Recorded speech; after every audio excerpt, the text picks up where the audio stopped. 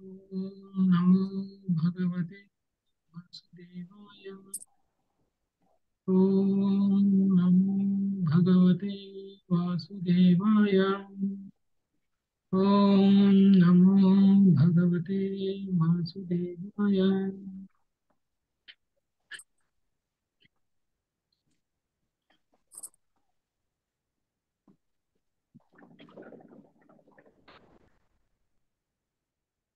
హరే కృష్ణ అండి అందరికీ welcome.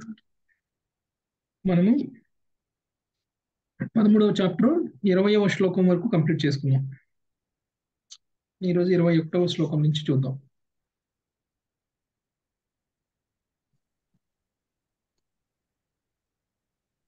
So ఈ చాప్టర్లో రఘుగణుడు జరభరతుడు మధ్య సంవాదం. అంటే రఘుగణుడు మరికొన్ని ప్రశ్నలు అడిగారు. దానికి సమాధానం జడభరతుడు చెప్తున్నారు. జడభరతుడి యొక్క జ్ఞానం మొత్తం కూడా ఆయన చెప్పినటువంటి ఈ చాప్టర్లో ఆయన సారూప్యాన్ని అంటే ఆయన ఏదో ఒక స్టోరీని తీసుకొని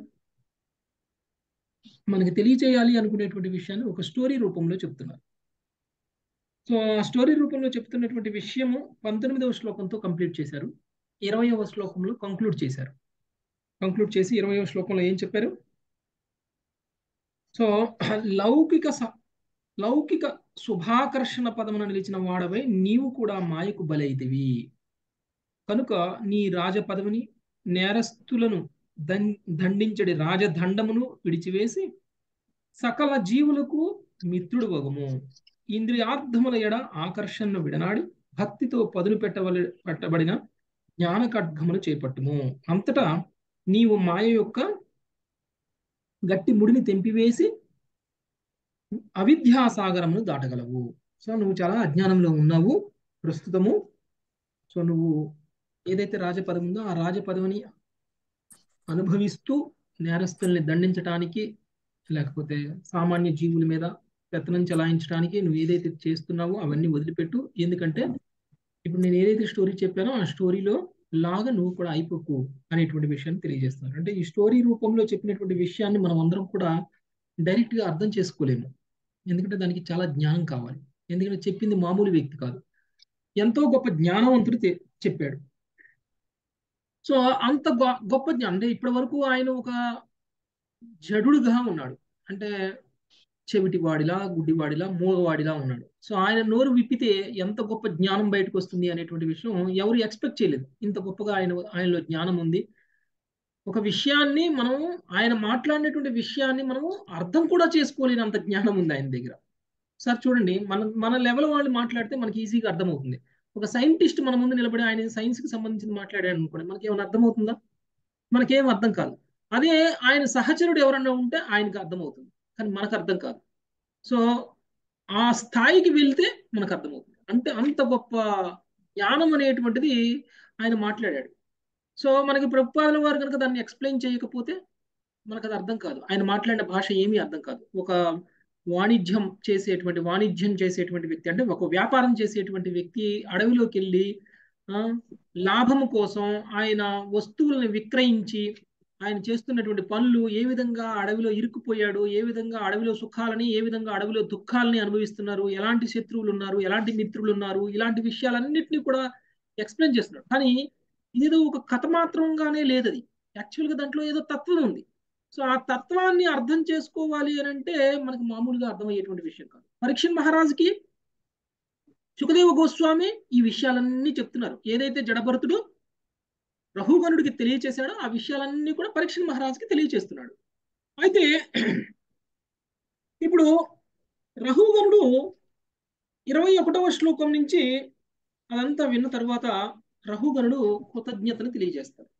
అంటే ఇంకా రాబోయేటువంటి ఇంకా ఈ ఐదు శ్లోకాల్లో కూడా రఘుగణుడు కృతజ్ఞ ఆయన తెలుసుకున్నటువంటి జ్ఞానానికి కృతజ్ఞతను తెలియచేయటం అనేటువంటి జరుగుతుంది. అందరితోటి జడభరతుడు చెప్పినటువంటి విషయం అనేటువంటిది ముగుస్తుంది. ఇక పద్నాలుగవ అధ్యాయంలో మనకి ఏదైతే ఈ అధ్యాయం మొత్తంలో మనకి జడభరతుడు తెలియచేశాడో ఒక స్టోరీని తెలియచేశారో దాన్ని అన్వయిస్తారు. తత్వంతో అన్వయిస్తారు. అంటే సుఖదేవ గోస్వామి దగ్గర నుంచి ఇప్పుడు మనకంటే ప్రభుపాద పర్పోట్లో భాష్యంలో చెప్పారు కాబట్టి మనకు తెలిసింది. కానీ సుఖదేవ గోస్వామి నుంచి పరీక్షణ్ మహారాజు విన్నప్పుడు భాష్యం చెప్పిన వాళ్ళు ఎవరు లేరు. పరీక్షణ్ మహారాజుకి సుఖదేవ గోస్వామి స్టోరీలా చెప్పుకుంటూ వెళ్ళారు చెప్పుకుంటూ వెళ్ళిన తర్వాత అంతా విన్న తర్వాత పరీక్షణ్ మహారాజు నువ్వైతే ఒక స్టోరీలా చెప్పావు నాకైతే అర్థమైంది. కొంత అర్థమైంది కొంత అర్థం కాలేదు. ఇందులో చూడబోతే నువ్వేదో తత్వం ఏదో నిగూఢంగా ఉంది. ఆ నిగూఢమైనటువంటి తత్వం అర్థం చేసుకునేటువంటి స్థాయి నాకు లేదు. మీరు చెప్పినటువంటి స్టోరీని మీరు చెప్పాలి అనుకున్నటువంటి తత్వంతో రిలేట్ చేస్తూ నాకు మళ్ళీ ఒకసారి వివరించండి అనేటువంటి విషయాన్ని ఈ అధ్యాయం చివరిలో అంటే మళ్ళీ పద్నాలుగవ అధ్యాయం మొత్తం కూడా మళ్ళీ ఇప్పుడు చెప్పినటువంటి ఏదైతే ఉందో దాన్ని విశ్లేషిస్తూ ఒక్కొక్క స్టోరీలో ఒక్కొక్క క్యారెక్టర్ ఎవరు?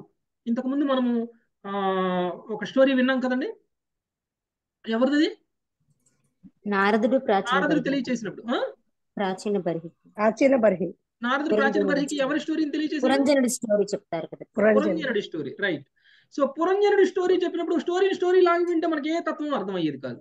అదే మనకి ఆ తర్వాత తర్వాత శ్లోకాల్లో నారదుడు మళ్ళీ ఎక్స్ప్లెయిన్ చేస్తారు. పురంజనుడు అంటే ఎవరు? పురంజనుడు భార్య అంటే ఎవరు? పురంజనుడు భర్త అంటే ఎవరు? పురంజనుడు చేసినటువంటి ఆ, ఇతర ఆ, పురంజనం అంటే ఏమిటి? ఇవన్నీ కూడా మనకి ఒక్కొక్కటిగా ఒక్కొక్కటిగా ఎక్స్ప్లెయిన్ చేసినప్పుడు మనకు అర్థమవుతుంది ఈ స్టోరీలో ఇంత మీనింగ్ ఉందా అనేటువంటి విషయం. సో అలానే ఇప్పుడు మనకి జడభరతుడు ఎక్స్ప్లెయిన్ చేసినటువంటి స్టోరీలో ఉన్నటువంటి మీనింగ్ని మనకి నెక్స్ట్ అధ్యాయం మొత్తంలో కూడా సుఖదేవ గోస్వామి తిరిగి ఎక్స్ప్లెయిన్ చేస్తారు ఏదైతే సుఖదేవ గోస్వామి ఆ శ్లో ఒక్కొక్క శ్లోకం మళ్ళీ ఎక్స్ప్లెయిన్ చేస్తూ వెళ్తూ ఉంటారో దాన్ని మనకి ముందుగానే ప్రభుపాదుల వారు మనకి ఏ శ్లోకాన్ని జడభరతుడు చెప్పాడో ఆ శ్లోకానికి సంబంధించినటువంటి సుఖదేవ గోస్వామి రాబోయే అధ్యాయంలో ఇవ్వబోయేటువంటి వివరణ మనకి భాష్యంలో ఆల్రెడీ ఇచ్చేశారు. అంటే నెక్స్ట్ అధ్యాయం మనం చదవకపోయినా కానీ నెక్స్ట్ అధ్యాయానికి సంబంధించినటువంటి వివరణ మొత్తం కూడా మనకి భాష్య రూపంలో ప్రభుపాదుల వారు ఆల్రెడీ మనకి తెలియజేసేసారు సో ఏ విధంగా ఇప్పుడు ఆ అసలు ఆ ఎక్స్ప్లెయిన్ చేయాల్సినటువంటి పరిస్థితి ఎందుకు వస్తుంది? మళ్ళీ ఇప్పుడు చెప్పినటువంటి అధ్యాయాన్ని మళ్ళీ తిరిగి ఎందుకు ఎక్స్ప్లెయిన్ చేయాల్సి వస్తుంది అనేటువంటి విషయం మనం ఈ రోజు మనం చూద్దాం. ఓకే ఇరవై ఒకటవ శ్లోకం. రాజోవాచ.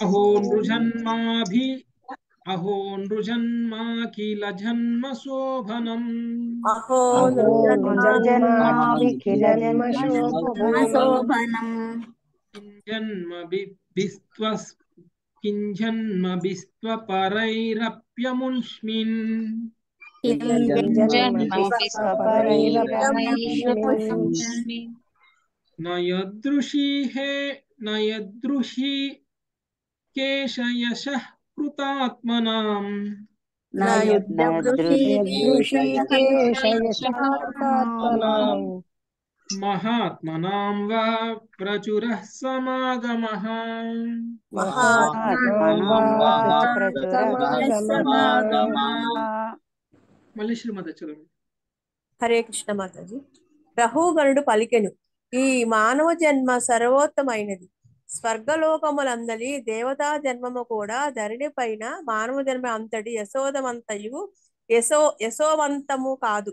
అయినచో దేవతా పదవి వలన ప్రయోజనం ఏమిటి? స్వర్గలోకములందు పుష్కలమగు భౌతిక సుఖముల వల్ల భక్తులు సాంగత్యమునకు అవకాశమే లభించదు. ఓకే. సో ఇంతకు ముందు మనకి జడభరతుడు చెప్పినటువంటి విషయాలన్నీ విన్న తరువాత రఘుగణుడు మాట్లాడుతున్నాడు. ఆయనకి ఇప్పుడు అర్థమైపోయింది. మానవ జన్మ యొక్క గొప్పతనం అనేటువంటిది అర్థమైపోయింది. ఎందుకంటే ఇంతకు ముందు చెప్పాడు కదా నీకు మానవ జన్మ వచ్చింది ఉపయోగించుకో. ఈ మానవ జన్మలో నువ్వు భక్తుల సాంగత్యంలో ఉండాలి. అంతేకాని భక్తుల సాంగత్యంలో ఉండకుండా కనుక నువ్వు ఏదో నీకున్నటువంటి పదవులతోటి నీకున్నటువంటి ఐశ్వర్యంతో నువ్వేదో గొప్పవాడివి అనుకొని నీవు గొప్పగానే నివసిస్తూ ఉండిపోయావు అనుకో నువ్వు ఏం కోల్పోతున్నావో కూడా నీకు తెలియదు అనేటువంటి విషయాన్ని మనకి ఇంతకు ముందు చెప్పినటువంటి కథలో మనకి అర్థమవుతుంది. అందుకని నువ్వు కూడా ఇవన్నీ వదిలేసాయి. ఇవన్నీ ఏదో నేను రాజుని నేను ఎవరినైనా శిక్షించగలను అనేటువంటి భావనన్ని వదిలేసి నువ్వేం చేయాలి? అందరితోటి స్నేహ బంధాన్ని కలిగి ఉండు. నువ్వు నీ యొక్క మానవ జన్మ యొక్క సార్థకత చేసుకో అనేటువంటి విషయాన్ని తెలియజేశారు. సో అది విన్నటువంటి రహుగనుడు ఇక్కడ మాట్లాడుతున్నాడు. రహుగనుడు మాట్లాడుతూ మానవ జన్మ సర్వోత్తమమైనది. ఎంత గొప్పదంట మానవ జన్మ? దేవతా జన్మ కంటే గొప్పది. ఎందుకు?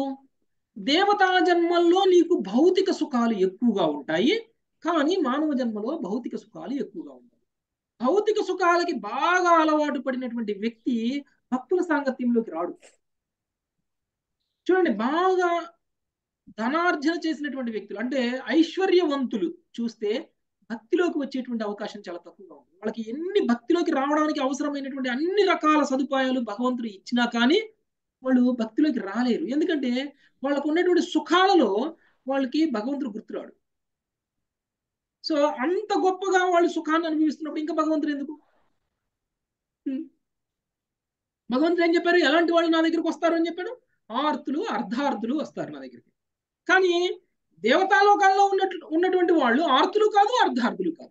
వాళ్ళకి ఏ కష్టము లేదు. వాళ్ళకి ఏ ధనము అవసరం లేదు. మరి అలాంటప్పుడు ఇంకో వాళ్ళకి వాళ్ళు ఎందుకు వస్తారు భగవంతుడి దగ్గరికి? అందుకని ఇక్కడ ఏమంటున్నాడు? మానవ జన్మలో ఉన్నటువంటి అదృష్టం ఏమిటి అని అంటే మన చుట్టూ భక్తులు ఉంటారు. మనం అందరి భక్తుల సాంగత్యంలో ఉండొచ్చు. అంత గొప్ప అదృష్టం దేవతా జన్మల్లో లేవు. ఒకవేళ వాళ్ళు ఎంత సుఖాలని అనుభవించినా ఎంత ఐశ్వర్యాన్ని అనుభవించినా కానీ ఒకవేళ వాళ్ళు భక్తుల సాంగత్యంలో రానప్పుడు అలాంటి దేవత శరీరం మనం పొందినా కానీ లాభం ఏమి లేదు అనేటువంటి విషయాన్ని చెప్తాను అందుకని నేను దేవతలకు కూడా ముక్తిని పొందాలి అని అంటే దేవతా లోకాల్లో ఉండి ముక్తిని పొందడం అనేటువంటిది చాలా కష్టం. ఎందుకంటే అక్కడ ఉన్నటువంటి సుఖాలు ఏవైతే ఉంటాయో ఆ సుఖాలలో నుంచి మనం ముక్తి వరకు చేరుకునేటువంటి అవకాశం అనేటువంటి చాలా తక్కువగా ఉంటుంది. అందుకని దేవతలు కూడా ఏమనుకుంటారు అంటే దేవతా లోకాల్లో ఉన్నటువంటి వాళ్ళు ముక్తిని పొందలేరని కాదు. దేవతాలోకంలో ఉన్నటువంటి వాళ్ళు కూడా ముక్తిని పొందొచ్చు కానీ అవకాశాలు తక్కువ. అలాంటి వాళ్ళు ఏం చేస్తారు? భక్తుల సాంగత్యం తక్కువగా ఉంటుంది కాబట్టి వాళ్ళు ఏమనుకుంటారు? నేను ముక్తిని పొందాలి నేను ధామానికి వెళ్ళాలి నేను ధామానికి వెళ్ళాలి అని అంటే ఈ కష్ట సుఖాలు నాకు అవసరం లేదు నేను మనిషిగా జన్మిస్తే నేను త్వరగా ముక్తిని పొందగలుగుతాను అది దేవతాలోకాల్లో ఉంటే నేను త్వరగా ముక్తిని పొందలేను అని చెప్పేసి ఆయన తెలుసుకొని వాళ్ళు ఏం చేస్తారు? దేవతాలోకాల నుంచి మానవ లోకానికి రావడానికి ప్రయత్నం చేస్తారు. మనం ఏం చేస్తున్నాము?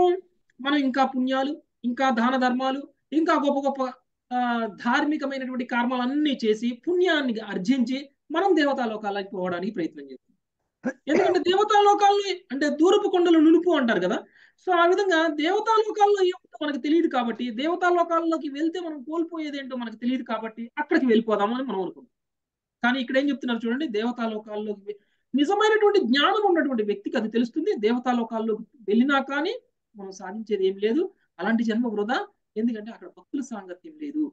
అంటే భక్తుల సాంగత్యం లేనటువంటి ప్రదేశం అనేటువంటిది మనం నివసించడానికి అనువైనటువంటి ప్రదేశం కాదు. మనకి మంచి జరిగేటువంటి ప్రదేశం కాదు. సో ఆ విషయాన్ని మనకి ఇక్కడ రఘువరుడు మనకి తెలియజేస్తున్నారు. మాతాజీ? భాష్యము.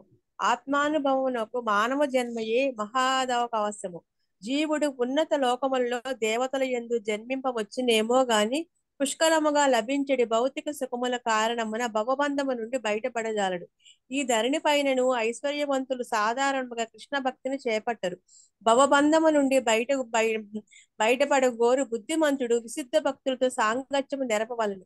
అట్టి సాంగత్యముచే మనవుడు మా మనుజుడు కాంతా కనకముల ఆకర్షణ నుండి క్రమముగా బయటపడగలడు. కాంతా కనకములే భౌతిక ఆసక్తికి మూల సిద్ధాంతములు. కనుకునే భగవద్ధామ పైనమునందు నిజముగా శ్రద్ధ కలిగిన వారు దానికి యోగ్యతను బడియుడికై కాంతా కనకములను త్యజించవలనని శ్రీ చైతన్య మహాప్రభు ఉపదేశించింది కాంతా కనకముల భగవత్ సేవల పూర్తిగా వినియోగించవచ్చును.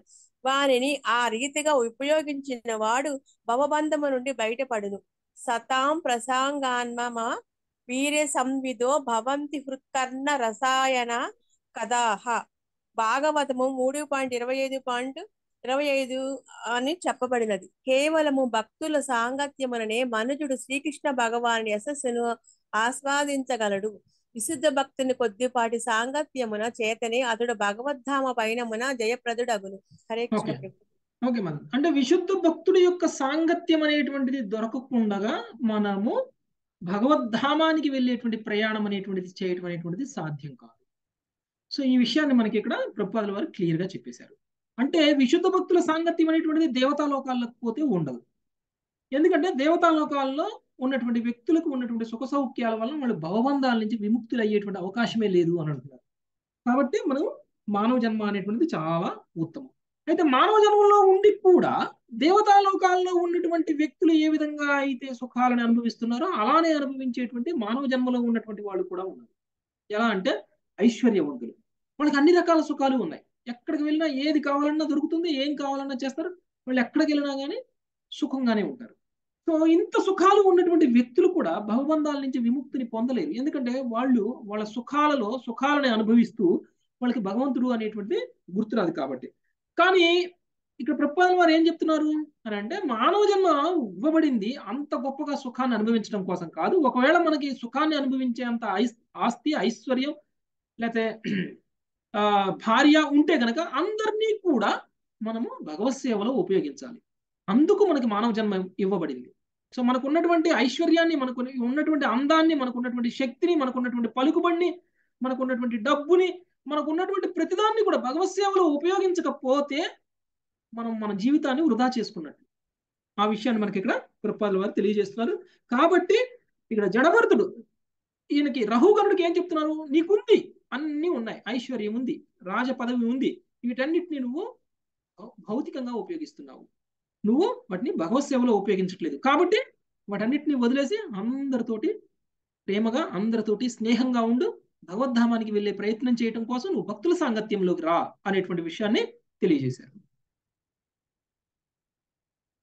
నహ్యుద్భుతం త్వచ్చరణాబ్ధరేణుభి.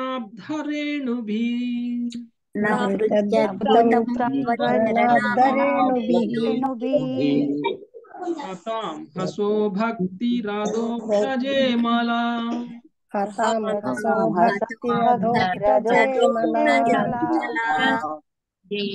మూర్తికాధ్యస్య సమాగమాచ్ఛమే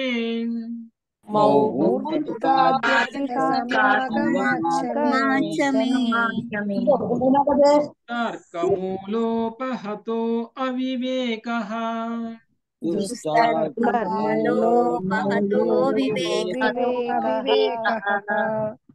మంగతాయర్ మాతాజీ చదవండి ప్రభుజీ చదవండి మాతాజీ ఆ, హరే హరే కృష్ణ. చదవండి. నీ పాద సోకినంత మాత్రమే మనుజుడు బ్రహ్మాది దేవతలకును అలభ్యమగు అధోక్షించిన భక్తిని శీఘ్రమే పొందగలుగుట అద్భుతమేమీ కాదు. క్షణకాలము నీ సాంగత్యం వలన భవబంధ మూలమగు తర్కము మిథ్యాహంకారము అవివేకము నుండి నేను బయటపడి తిని అన్ని సమస్యలకు నేను ఇప్పుడు దూరం అయితిని చదవండి చదవమంటారా? హరే కృష్ణ. భాష్యము. విశుద్ధ భక్తుల సాంగత్యము నిక్కముగా మనుజుని భావబంధ విముక్తం చేయగలదు. రహుగుణునికి జటభరతంతో కలిగిన సాంగత్యమునకు ఇది సత్యమే ఒప్పాదినది. ఆ రాజు అంతటి సమస్త అపార్థముల నుండి అపోహల నుండి బయటపడింది విశుద్ధ భక్తుల వాదము జ్ఞానబోధ ఎంత అర్థవంతంగా నుండుననగా అవివేక్యగు శి- శిష్యుడను శీఘ్రమే దానిచ్చే ఆధ్యాత్మిక జ్ఞాన సుసంపన్నుడగును. హరే కృష్ణ ప్రభుజీ. సో ఇప్పుడు ఈయనకి జ్ఞానోదయం అయింది రహుగణుడికి జ్ఞానోదయం అయింది ఎలా అయింది? విశుద్ధ భక్తుల సాంగత్యంలోకి వచ్చాడు కాబట్టి జ్ఞానోదయం అయింది అంటే నువ్వు భవబంధాల నుంచి మనం విముక్తులం అయ్యేటువంటి స్థాయికి వెళ్ళే జ్ఞానాన్ని మనం పొందాలి అని అంటే మనం ఇంట్లోనే కూర్చొని మనం లౌకికంగా కర్మలు చేస్తే మనము మనము సుఖ సౌఖ్యాలను మనకు ఉన్నటువంటి ఐశ్వర్యంతో అనుభవిస్తూ ఉంటే మనకి ఈ జ్ఞానం రాదు. మనము విశుద్ధ భక్తుల యొక్క సాంగత్యంలోకి వెళ్ళాలి. క్షణకాలం పాటు విశుద్ధ భక్తుల సాంగత్యం కూడా మన జీవితాన్ని మార్చేస్తుంది. మనల్ని భవబంధాల నుంచి విముక్తుల్ని చేస్తుంది. అదే విషయం రఘుగరుడు ఇక్కడ చెప్తున్నాడు. ఆయన కొద్ది సమయం పాటు జడభరతుడి యొక్క సాంగత్యంలోకి వచ్చారు జడభరతుడు విశుద్ధ భక్తుడు కాబట్టి ఆయన చెప్పినటువంటి తత్వం ఏదైతే ఉందో ఆ తత్వం ఎలాంటి తత్వం అంట అంటే రహోగనుడు ఈ భౌతిక బంధాలన్నింటినీ కూడా దూరం చేసుకొని ఆధ్యాత్మిక లోకానికి వెళ్ళగలిగినటువంటి జ్ఞానాన్ని ఆయన ఇచ్చారు. సో అది సామాన్యమైనటువంటి జ్ఞానం కాదు. అంటే అలాంటి ఒక స్థితిని పొందడము అనేటువంటి దానికి మనకి చాలా అదృష్టం ఉండాలి. ఎందుకంటే చాలా మంది మరి రహుగరుడు కంటే ముందు చాలా మంది జడభరతుడి యొక్క సాంగత్యంలోకి వచ్చారు. తన తల్లిదండ్రులు తన సోదరులు ఒక క్షణకాలం పాటు కాదు. కొంతకాలం పాటు వాళ్ళతోటి ఉన్నారు. కానీ వాళ్ళకి భగవంతుడి యొక్క కృప లేదు. వాళ్ళకి సాంగత్యం ఉంది కానీ సాంగత్యాన్ని ఉపయోగించుకోలేదు. ఈయనని ఒక లౌకికమైనటువంటి వ్యక్తి కంటే కూడా హీనంగా చూశారు. ఈయనని ఒక మూర్ఖుల్లా చూశారు. అందుకని ఆయనకి కుళ్ళిపోయిన అన్నం పెట్టారు చెడిపోయిన ఆహారం పెట్టడం ఆయనతోటి శ్రమ చేయించుకొని పొలం పొలం పనులు చేయించుకొని అన్ని రకాలుగా చేయించుకున్నారు. వాళ్ళ తండ్రి ఏమనుకున్నాడు? నా కొడుకు కాబట్టి అంటే ప్రేమను చూపించి ఏదో ఒక రకంగా ఈయన గొప్ప విద్యావంతుడిని చేసి ఒక పండితుడిని చేయాలి అని అనుకున్నాడు. అంతేకాని ఈయన ఒక భక్తుడిని చేయాలి అనుకోలేదు. పండితుడిని చేస్తే సెటిల్ అయిపోతాడు. మంచిగా సెటిల్ అయిపోతారు. మంచిగా దక్షిణలు వస్తాయి. వాటన్నిటిని తీసుకొని మంచిగా హాయిగా ఉండొచ్చు. చివరి క్షణం వరకు కూడా ఆయన లౌకికంగానే ఆలోచించాడు. కొడుకు కూడా లౌకికంగానే ఎదగాలి అని ఆలోచించాడు. అంటే శాస్త్రం అనేటువంటి దాన్ని అడ్డం పెట్టుకొని లౌకికంగా ఏ విధంగా మనం పైకి వెళ్ళాలి అనేటువంటిది ఆలోచన. అంటే ఆయన చదివేది భగవంతుడి యొక్క శాస్త్ర భగవంతుడు ఇచ్చినటువంటి శాస్త్రమే అయినా పండితుడే అయినా కానీ ఉపయోగించేది లౌకికంగా సెటిల్ అవడం కోసం. అందుకని ఆయన చదివేటువంటిది వేద జ్ఞానమే అయినా వేదాల్లోనే పండితుడే అయినా కానీ దాన్ని భగవంతుడి మీద భక్తితోటి ప్రేమతోటి చేయట్లేదు కాబట్టి ఆ విద్య కూడా లౌకికమైనటువంటి విద్యగానే పరిగణించబడుతుంది. అందుకని అక్కడ కూడా ఆయన నోరు తెరవలేదు. అందుకని జడభరతుడు ఇది వీళ్ళంతా కూడా లౌకికులు అనేటువంటి విషయం తెలుసుకొని అక్కడ ఆయన మూగవాళ్ళా ఉండిపోయాడు చెవిటి వాళ్ళ ఉండిపోయాడు. కానీ వాళ్ళు భక్తుల యొక్క సాంగత్యాన్ని ఉపయోగించుకోలేకపోయారు జడభరతుడికి ఉన్నటువంటి జ్ఞానాన్ని వాళ్ళు తెలుసుకోలేకపోయారు ఆయన మూర్ఖుల్లానే పరిగణించారు. ఎప్పుడైతే ఈయన రహుగణుడు తెలుసుకున్నాడు చూ రహుగణుడు తెలుసుకున్నాడంటే ఇప్పుడు మన పూర్వజన్మ సుకృతి ఉంటుంది మనకి ఆ భగవంతుడి యొక్క కరుణ కూడా ఉండాలి. ఈ రెండు ఉండాలి. అంటే మనకు అర్హత ఉండాలా? మనకు అర్హత ఒకటి ఉంటే సరిపోదు. భగవంతుడి కరుణ కూడా మన మీద ఉండాలి. రెండు ఉండాలి. అంటే మన సైడ్ నుంచి ఉండాలి? భగవంతుడి నుంచి ఉండాల్సింది కూడా ఉండాలి. ఈ రెండు ఉన్నాయి కాబట్టి రఘుగరుడికి శుద్ధ భక్తుడి యొక్క సాంగత్యంలోకి రాచిన వెంటనే జ్ఞానోదయం అయిపోయింది ఆయనకి. ఆయనకు మాట్లాడినటువంటి అదే ఇప్పుడు వేరే వ్యక్తి అనుకోండి. మరి ఆయన పల్లకిని మోస్తూ ఉన్నాడు అనుకోండి మరి రఘుగరుడి ప్లేస్లో వేరే ఎవరో ఉన్నారనుకోండి. ఒకవేళ ఆయన తిట్టాడు అనుకోండి తిడితే ఆయన ఇట్లనే మాట్లాడాడు అనుకోండి మాట్లాడి నువ్వు చాలేవయ్యా నువ్వు మళ్ళీ మొయ్యి అంటాడు. అంతేకాని నువ్వు మాట్లాడిన మాటలో ఇంత జ్ఞానం ఉందా? అని చెప్పేసి వెంటనే పల్లకి నుంచి దిగి ఆయన కాళ్ళ మీద పడి ఆయన క్షమాపణ కోరుకొని నువ్వు మాట్లాడిన దాంట్లో చాలా మీనింగ్ ఉంది నువ్వు నాకు మళ్ళీ పూర్తిగా ఎక్స్ప్లెయిన్ చెయ్యి నువ్వు నీ నీకున్నటువంటి జ్ఞానాన్ని నేను ఒక మాటలో రెండు మాటల్లో నేను అర్థం చేసుకోలేను నాకు పూర్తిగా నాకు పూర్తిగా ఆధ్యాత్మిక జ్ఞానాన్ని ఇవ్వు ఆత్మ జ్ఞానాన్ని ఇవ్వు ఆత్మ దర్శనం నాకు చేయించు అనేటువంటి ఒక శిష్యులుగా మారిపోయే అంత స్థాయికి వేరే ఇతర ఎవరూ కూడా రాలేరు. ఎందుకంటే భగవంతుడి యొక్క కరుణ కూడా ఆయన మీద ఉండాలి. ఈయనకు ఉన్నది కాబట్టి ఈయన భక్తుడిగా అయ్యే అవకాశం ఉంది కాబట్టి అంత శుద్ధ భక్తుడి యొక్క సాంగత్యాన్ని ఉపయోగించుకోగలిగారు. సో నీ యొక్క సాంగత్యం వల్ల నేను నా యొక్క అవివేకాన్ని కోల్పోయి నా యొక్క సమస్యలన్నిటి నుంచి కూడా నేను బయట కలిగే బయటపడగలుగుతున్నాను నేను అనేటువంటి విషయాన్ని తెలియజేశారు నమో మహాభ్యోస్తు నమ శిశుభ్యో నమో మహద్భ్యోస్తు నమ శిశుభ్యో నమో యువభ్యో నమ అవటుభ్య నమో యువభ్యో నమ అవటుభ్యః ఏ బ్రాహ్మణాగామవధూతలింగా ఏ బ్రాహ్మణాగామవధూతలింగా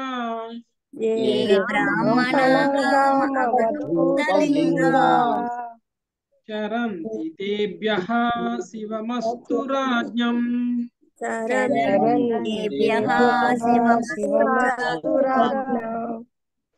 రామారావు ప్రభుజీ చదువుతారా? హరే కృష్ణ బాలురు యువకులు అవధూతలు లేదా బ్రాహ్మణులుగా ధరణిపై చెరించు మహాత్ములందరకు వందనములు. నానా విధములకు రూపములలో వారు ప్రచ్ఛన్నముగా ఉన్నప్పటికీ వారికి ఇవే నా నమస్సులు. అపరాధులకు రాజులకు వారి అనుగ్రహమున శుభము భాష్యం. ఇప్పుడు ఒక నిమిషం ఇప్పుడు రహుగరుడు ముందుగా ఏదైతే జ్ఞానాన్ని జడభరతుడి నుంచి తెలుసుకున్నాడో ఆ జ్ఞానం యొక్క గొప్పతనాన్ని ముందు చెప్పేశాడు. నన్ను భవబంధాల నుంచే విముక్తి చేయగలుగుతుంది. నువ్వు అంత గొప్ప సాంగత్యాన్ని నాకు ఇచ్చావు అనేటువంటి విషయం చెప్పాడు.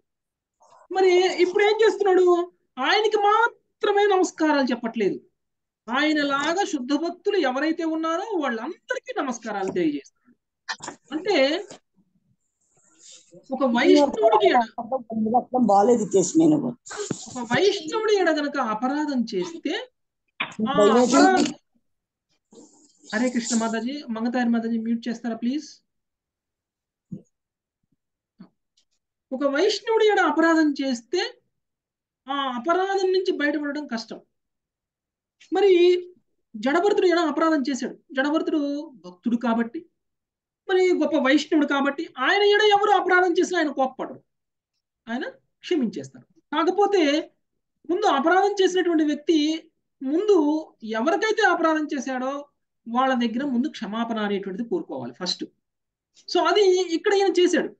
అంటే ఇప్పుడు రఘువరుడికి ఉన్నటువంటి డౌట్ ఏంటంటే నీలాగా చాలా మంది భక్తులు సంచరిస్తూ ఉంటారు. నువ్వు మూగవాళ్ళ చెవిటివాళ్ళ గుడ్డివాళ్ళ సంచరించావు. ఇంకా చాలా మంది భక్తులు చిన్న పిల్లల్లాగా ఉండొచ్చు ముసలివాళ్ళలాగా ఉండొచ్చు. ధరణి మీద మహాత్ములు ఎంతో మంది సంచరిస్తూ ఉంటారు. ఇప్పుడు చూడండి ఎందుకు సంచరిస్తారు వాళ్ళందరూ? అంటే మనలాంటి పాపాత్ములని ఆ ఉద్ధరించడం కోసం సంచరిస్తూ ఉంటారు. మరి వాళ్ళు మన మన సాంగత్యంలోకి వచ్చినప్పుడు మనకి వాళ్ళ యొక్క గొప్పతనం తెలియకుండా మనం వాళ్ళని అవమానించిన అవమానిస్తాం. సో ఇప్పుడు కుమారగణం ఉన్నారనుకోండి నలుగురు కుమారగణం. వాళ్ళు చాలా గొప్ప భక్తులు. వాళ్ళు మన ముందుకు వచ్చారనుకోండి. సో వాళ్ళు ఏదైనా మనకి ఏదైనా జ్ఞానం చెప్పబోయారనుకోండి మనం అసలు వాళ్ళు చెప్పే జ్ఞానాన్ని అంగీకరిస్తావా అంగీకరించం. నీకెంత యా వయసు? నువ్వు ఎంత చెప్తావు? నాకు నలభై ఏళ్ళు నువ్వేం చెప్తావు నాకు అంట అంటే అలా రఘువరుడు కూడా ఎంతో మంది భక్తులుగా ఉండి భక్తులైనటువంటి వాళ్ళు మనకి అనేక రకాల వేషాలలో ఆ అనేక రకాల ఆ ఏమన్నారు ఇక్కడ? నానా విధమైనటువంటి రూపాలలో తిరుగుతూ ఉంటారు. వాళ్ళ ఎడ నేను ఎంతమందికి అపరాధం చేశాను? నాకు తెలియకుండా ఇప్పుడు నీకు చేసినట్టు. అక్కడే వాళ్ళందరికి కూడా నమస్కారం అనేటువంటి విషయాన్ని తెలియజేస్తున్నారు. అంటే ఇప్పుడు ఈయన జడభరతుడు చెప్పినటువంటి మాటలు విని ముక్తి మార్గంలోకి వెళ్ళగలగాలి అని అంటే ముందు ఆయన వైష్ణవులు ఎడ చేసినటువంటి అపరాధాలన్నిటికీ క్షమాపణ అడగాలి అది జరగకుండగా మళ్ళీ ఇంత జ్ఞానం ఉన్నా కానీ ముందుకు వెళ్ళలేరు భక్తిలో. కాబట్టి ఇక్కడ అందరికీ నమస్సులు తెలియజేస్తారు అందరూ ఎడ అపరాధాలు చేసినటువంటి ఇలాంటి గొప్ప వాళ్ళ ఎడ అపరాధం చేసినటువంటి రాజులు ఎవరైతే ఉంటారో అంటే ఇప్పుడు ఈయన ఒక రాజుగా ఉండి ఎంతో మంది లెక్క చేయకుండా ఉండి ఉండొచ్చు ఇప్పటి వరకు. ఆ లెక్క చేయకుండా ఉన్నటువంటి వాళ్ళలో గొప్ప భక్తులు కూడా ఉండి ఉండొచ్చు. సో వాళ్ళ ఎడ అపరాధం ఈయనకు తెలియకుండానే జరిగిపోయింది.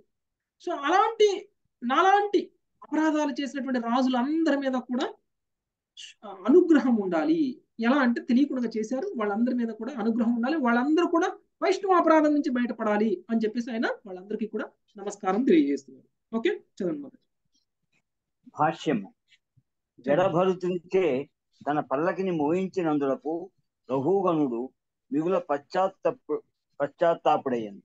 కనుకనే అతడు బ్రాహ్మణులకు ఆత్మదర్శులకు వందనమునొసగా ఆరంభించను వారు బాలుర రూపమున క్రీడించుచున్నప్పటికీ లేదా ఏదేని ప్రచ్ఛన్న రూపమున ఉన్నప్పటికీ అతడు నమస్సులు అర్పించాడు సహకారి కుమారగణము ఐదేండ్ల బాలుక బాలుర వలె సర్వత్రా సంచరించింది అదే విధముగా యువకులు పిల్లలు లేదా అవధూతల రూపమున ధరణి ఎంతను సంద సందరి సంచరించని బ్రాహ్మణులకు బ్రాహ్మణులు పలువురు కలరు. రాజవంశముల వారు అహంకార వశమున అట్టి మహాత్ముల ఎడ అపరాధమునర్చుతుందరు కనుకనే రాజవంశముల వారు నరకమునకు పతనము చెందిన చెందని రాగున రఘుగణుడు ఆ మహాత్ములందరికీ వందనములు కావించుతున్నాడు తమ ఎడ జరిగిన అపరాధమును మహాత్ముడు పట్టించుకొనరేమో గాని భగవంతుడు మాత్రము ఆ అపరాధం క్షమించడు. భక్త అంబరీషుని పట్ల దుర్వాసుడు అపరాధమునర్చి ఉండెను ఆ ముని క్షమార్పణ వేడుచు విష్ణువు దరిచేరినను ఆ దేవదేవుడు మన్నింపలేదు. చివరకు దుర్వాసుడు భక్తి అంబరీషుని పాదపద్మల చెంతనే అనగా అతడు క్షత్రియుడు గృహస్థుడు అయినను వారవలసి వచ్చను కనుక వైష్ణవులు బ్రాహ్మణుల ఎడ ఎవరునూ అపరాధమనర్చరాదు. హరే కృష్ణ మా ప్రభుజీ. సో మనము ఎంత భక్తిలో గొప్పవాళ్ళము అని మనం అనుకున్నా వైష్ణవాపరాధం నుంచి బయటపడకుండా మనం భగవద్ధామానికి వెళ్ళలేము. సో అది కండిషన్ అంటే ఆ ఉదాహరణకి మనం అనుకుంటాం నేను భక్తిలో గొప్పవాడిని అయిపోయాను నేను భగవంతుడి ముందుకు వెళ్ళి నేను క్షమాపణ చెప్పేసుకుంటాను నేను చేసినటువంటి తప్పులకి అని చాలా మందికి అనుకుంటాం మనం చాలా మంది ఇక్కడ అపరాధం చేస్తాం. ఇది మనం చాలా జాగ్రత్తగా అర్థం చేసుకోవాల్సిన విషయం. మనం మనకి తెలియకుండా తెలుసో చాలా మందికి మనం అపరాధం చేస్తాం. వాళ్ళలో శుద్ధభక్తులు అయి ఉంటారు. ఇప్పుడు వాళ్ళని మనం వెళ్ళి క్షమాపణ అడగడం ఎందుకంటే మనకి ఇవ్వ అడ్డం వస్తుంది. నేను వెళ్ళి ఆయన్ని క్షమాపణ అడగడం ఏంటి అని అనుకుంటాం. అనుకొని మనం ఏం చేస్తాం? కానీ మన మనసులో మాత్రం పీకుతూ ఉంటుంది. నేను తప్పు చేశాను. కానీ నేను ఆయన ముందుకెళ్ళి ఆయన క్షమాపణ అడిగే అంత ధైర్యం నాకు రావద్దు మరి నేనేం చెయ్యాలి? ఏం చేయాలంటే నేను వెళ్ళి భగవంతుడి ముందు నిలబడి భగవంతుడా నేను ఫలానా వైష్ణవుడి ముందు నేను అపరాధం చేశాను. నా అపరాధం నుంచి నన్ను క్షమించు అని భగవంతుడిని కోరుకుంటారు. ఎందుకంటే భగవంతుడిని ఎందుకు కోరుకుంటాం మనము? అపరాధం నుంచి క్షమించు అని చెప్పేసి ఎందుకంటే నేను భగవంతుడిని అపరాధం నుంచి క్షమించమని నేను క్షమాపణ కోరుకున్నట్టు నేను పశ్చాత్తాప పడుతున్నట్టు అనేటువంటి అంటే నేను గిల్టీగా ఫీల్ అవుతున్నటువంటి విషయం ఎవరికి తెలియదు అంటే మనలో ఇంకా ఆ మిథ్యాహంకార భావం అనేటువంటిది ఇంకా ఉంది. అందుకనే ప్రత్యక్షంగా ఏ వైష్ణవుడికైతే అపరాధం చేశామో ఆ వైష్ణవుడి దగ్గరికి వెళ్ళి క్షమాపణ కోరకుండా భగవంతుడి దగ్గరికి వెళ్ళి మనం క్షమాపణ కోరుకుంటాం. అంటే కొంతవరకు మనము పవిత్రులుగానే ఉన్నాం కాబట్టి కనీసం మనం లోపలన్న పశ్చాత్తాపడుతున్నాము ఆ వ్యక్తి దగ్గరికి వెళ్ళకుండా భగవంతుడి దగ్గరికి వెళ్ళి క్షమాపణ అనేటువంటిది కోరుతున్నాం కానీ భగవంతుడు దానికి క్షమించడు. భగవంతుడు ఎట్టి పరిస్థితుల్లో క్షమించడు. ఉదాహరణకి అంబరీషుడు ఎడ దూర్వాస మహాముని చేసినటువంటి అపరాధం ఏదైతే ఉందో ఆ అపరాధంకి విష్ణువు నారాయణుడు ఆయన సుదర్శనాన్ని దూర్వాసుల మీదకి వేస్తే దూర్వాసుడు అంబరీషుడు తప్ప అందరి దగ్గరికి వెళ్ళాడు. ముల్లోకాలు తిరిగాడు. కానీ ఆయనకి ఎక్కడా క్షమాపణ దొరకలేదు. చివరికి ఆయన అంబరీషుడి దగ్గరకు వచ్చి క్షమాపణ తీసుకున్నాడు. కాబట్టి మనం వైష్ణవులందరికీ క్షమాపణ చెప్పకపోతే మనం భగవంతుడు కూడా మనల్ని యాక్సెప్ట్ చేయడు. అది చాలా చాలా చాలా చాలా ఇంపార్టెంట్. అందుకని ఇక్కడ మనకి ప్రభుత్వాల వారు ఆ ఆ యొక్క సంఘటనని మనకు గుర్తు చేస్తున్నారు. అందుకని ఇప్పుడు భక్తిలో ముందుకెళ్ళగలిగినంత జ్ఞానం అనేటువంటిది రహుగరుడికి వచ్చింది కానీ రహుగరుడు భక్తిలో ముందుకెళ్ళగలరా? భగవంతుడు ఈయన భగవద్ధామానికి రమ్మని పిలుస్తారా? ఈయన శరీరాన్ని త్యాగం చేసిన తర్వాత భగవద్ధామానికి వెళ్ళగలరా? వెళ్ళలేరు ఎందుకు? ఇంత జ్ఞానం ఉంది ఇప్పుడు వైరాగ్యం వచ్చినా సరే ఈయన వెళ్ళలేరు భక్తిలో ఉన్నా కానీ ఈయన వెళ్ళలేరు ఎందుకు? ఎందుకంటే ఈయన ఎవరెవరు వైష్ణవుల ఈయన అపరాధం చేశాడో ఆ అపరాధాలన్నిటి నుంచి ఆయన ముక్తుడు అవ్వాలి లేదు అని అంటే మళ్ళీ జన్మ తీసుకోవాల్సిందే. భగవంతుడు కరుణ మన మీద ఉండదు. కాబట్టి ఇక్కడ రహుగణుడు అందరి వైష్ణవులకి నమస్కారాలు తెలియజేస్తూ క్షమాపణలు కోరుకుంటున్నారు. అందుకనే మనం చాలా జాగ్రత్తగా ఉండాలి. అందుకనే మనం క్లాస్ స్టార్ట్ చేసే ముందు ప్రేయర్లో ఏం చెప్తామండి మనం? వాంఛాకల్పతరుభ్యశ్చ కృపా సింధుభ్య ఏవచ పతితానాం పావనేభ్యో వైష్ణవేభ్యో నమో అంటే ఇదేంటి? వైష్ణవుల ఎడ మనం ఏమైనా తెలుసో తెలియకో అపరాధం చేస్తే ఆ అపరాధం నుంచి మమ్మల్ని మన్నించండి అని కోరుకోవడం. అట్లనే మనము క్లాస్ ఎండ్ చేసేటప్పుడు కూడా వాంఛాకల్పతరుభ్యశ్చ చెప్తాం. సో వైష్ణవుడు వాంఛాకల్పతరుభ్యశ్చ అనేటువంటి ఈ ఈ శ్లోకాన్ని ఎందుకు చెప్తారు అని అంటే వైష్ణవ అపరాధం నుంచి ముక్తిని పొందడానికి. ఒక్కసారి ఈ శ్లోకం చెప్పాము అంటే మనకి తెలుసో తెలియకో చేసినటువంటి అపరాధాలన్నీ పోతాయి. మనం భక్తిలో ముందుకెళ్ళచ్చు. అందుకని మనం టెంపుల్కి వెళ్ళినప్పుడు కూడా చూడండి. టెంపుల్కి వెళ్ళినప్పుడు కూడా ఫస్ట్ చేయాల్సిన పని ఏంటండి మనం భగవంతుడి యొక్క దర్శనానికంటే ముందు మనం చేయాల్సిన పని ఏంటి? దర్శించుతుంది వాంఛాకల్పత రూపేస్తే చెప్పాలి. ప్రభుపాద దర్శనానికంటే ముందు మనం వాంఛా- దర్శనం చేసుకోవాలి. ఓకే? అంటే టెంపుల్ మెట్లు ఎక్కేటప్పుడే వాంఛాకల్పత రూపేస్తా చెప్పేసి టెంపుల్ మెట్ల దగ్గరనే అది కూడా ఎలా చెప్పాలి మనం? టెంపుల్ మెట్ల దగ్గరనే సాష్టాంగ నమస్కారం చేసి వాంఛాకల్పతరుభ్యశ్చ కృపా సింధుభ్య ఏవచ పతితానాం పావనేభ్యో వైష్ణవేభ్యో నమో నమః అని చెప్పిన తర్వాత లోపలికి వెళ్ళాలి. టెంపుల్ లోపలికి వెళ్ళాక చెప్పకూడదు. గుర్తుంచుకోండి. టెంపుల్ బయట మెట్ల దగ్గరే చెప్పాలి ఇది. మళ్ళీ వచ్చేటప్పుడు కూడా మళ్ళీ బయట మెట్ల దగ్గర చెప్పాలి. అంతేగాని టెంపుల్ లోపలికి వెళ్ళాక చెప్పకూడదు. టెంపుల్ లోపలికి వెళ్ళిన తర్వాత భగవంతుడి కంటే గొప్పవాడు ఎవరు లేరు. భగవంతుడు ముందు మనం ఎవరికి నమస్కారం చేయాల్సిన అవసరం లేదు. చేయకూడదు కూడా. చేస్తే భగవంతుడిని చిన్నవాడిని చేసినట్టు ఎవరికైతే మనం నమస్కారం చేస్తున్నాం వాళ్ళని పెద్దవాళ్ళని చేసినట్టు అయిపోయింది. భగవంతుడు ముందు వేరే ఎవరికి మనం నమస్కారం చేయకూడదు. ఓకే? అందుకని మనం ఫస్ట్ గురువు దగ్గరికి వెళ్ళి గురువుకి నమస్కారం చేసి తర్వాత భగవంతుడి దగ్గరికి వెళ్తాం. అంటే భగవంతుడికి నమస్కారం కంటే ముందు గురువుకి నమస్కారం చేయొచ్చు. మనం టెంపుల్లోకి వెళ్ళినప్పుడు ఎవరికి ముందు నమస్కారం పెట్టాలి? అక్కడ నాలుగు రకాల డీటీలు ఉంటాయి. నాలుగు రకాల దేవతల ఫోటోలు ఉంటాయి. లేకపోతే విగ్రహాలు ఉంటాయి. గురువు విగ్రహం కూడా ఉంటుంది. ఎవరికి ముందు ముందు నమస్కారం చేయాలి? గురువులకే. గురువుకి గురువుకి. నమస్కారం చేయాలి. ప్రభుపాదుల వారికి చేస్తా ప్రభు. ప్రభుపాద ప్రణామ మంత్రం చెప్పి ప్రభుపాదకి నమస్కారం చేసిన తర్వాత మళ్ళీ ఎవరికి నమస్కారం చేయాలి? నెక్స్ట్ నెక్స్ట్ నితాయ్ గౌరాకి చేయాలి ప్రభు. దేవాది కృష్ణుడి విగ్రహం ఉంటే కనుక కృష్ణుడికి చేయాలి. ఓకే లేదంటే ఆ తర్వాత హైరార్కీలో కృష్ణుడిది అయిపోయిన తర్వాత నెక్స్ట్ కృష్ణుడి యొక్క అవతారాలు. రాముడో లేకపోతే వెంకటేశ్వర స్వామో లేకపోతే చైతన్య మహాప్రభు లేకపోతే అంటే ఇప్పుడు ఒకవేళ చైతన్య మహాప్రభు ఉన్నారనుకోండి చైతన్య మహాప్రభు కృష్ణుడు ఒకటే. కాబట్టి మనం చైతన్య మహాప్రభుకి గౌరనితాయికి కూడా చేయొచ్చు ప్రభుపాద నమస్కారం అయిపోయిన తర్వాత. ఓకే? సో గౌరనితాయికి నమస్కారం చేసిన తర్వాతనే ఇతర అవతారాలకు చేయాలి. లేదంటే ఇతర దేవీ దేవతలకు చేయాలి. మనం ఆర్డర్ రామచంద్ర ప్రభుజీ ప్రభుజీ మాయాపూర్లో మనకి మహాప్రభు చైతన్య ప్రభు దర్శనం అయిన తర్వాత కదా ప్రభుజీ రాధాకృష్ణ దర్శనం చూపిస్తారు మంగళహారతి సమయంలో. ప్రభుజీ రావట్లేదు ఏం రావట్లేదు? అందరికి వినిపించట్లేదు అన్నమాట? వినిపిస్తుంది ప్రభుజీ. వినిపిస్తుంది. వినపడుతుంది ప్రభుజీ. వినపడుతుంది ప్రభుజీ. ఇప్పుడు వినపడుతుంది. వినిపిస్తుంది ప్రభు. అవును మాతాజీ. అంటే ఇప్పుడు గౌరనితాయి దర్శనము రాధాకృష్ణ దర్శనము ఒకటే. ఓకే. అందులో ఏం తేడా లేదు. అందుకని మనకి మంగళహారతి కూడా మార్నింగ్ రెండు సమా ఒకేసారి జరుగుతాయి. ఓకే? తర్వాత మనం ముందు ప్రభుపాద దర్శనం చేసుకుని వచ్చిన తర్వాత గౌరనితాయ దర్శనం చేసుకుని అయినా వెళ్ళొచ్చు. లేదంటే కృష్ణుడి దర్శనం చేసుకుని అయినా గౌరనితాయ దగ్గరికి వెళ్ళచ్చు. ఏదైనా చేయొచ్చు. అయితే చిన్న సందేశం ప్రభు. సందేహం ప్రభు. సందేహం ప్రభు సారీ ప్రభు ఆ, ప్రభుపాద వారికి ప్రణామం చేసి మంత్రం చెప్పి వస్తున్నప్పుడు మన గురుదేవులు ఎదురుగా కనిపించారు అనుకోండి. అప్పుడు వాళ్ళకి మనం హరే కృష్ణ చెప్పి వెళ్ళాలా? లేకపోతే ఎవరు అట్లాగే దీక్షనిచ్చిన గురువుల? దీక్ష ఇచ్చిన అంటే శిక్షా గురువే అనుకోండి. శిక్షా గురువు అయినా సరే మీరు మరి డీటీ ఎదురుగా నమస్కారం పెట్టద్దు. సైడ్కి పెట్టచ్చు సైడ్కి వెళ్ళి మరి సైడ్కి వెళ్ళి. ఉమ్, మ- మరి విగ్రహాల ఎదురుగా మనం నమస్కారం చేయకూడదు. కొంచెం పక్కకి పక్కకి వెళ్ళి నమస్కారం చేయాలి. హరే కృష్ణ అని చెప్పొచ్చా ప్రభుజీ? హరే కృష్ణ చెప్పచ్చు. హరే కృష్ణ.